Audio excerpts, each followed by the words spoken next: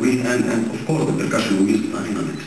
The most important thing is for me in music, especially in percussion, like like on piano when you play double forte, forte piano, mezzo forte, pianissimo, on the darbouka the same thing. I cannot even, it's more difficult to play piano like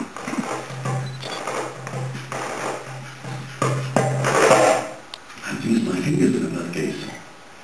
Can play forte easy. Okay, but it's fingers. Not hands, just fingers. Very sensitive.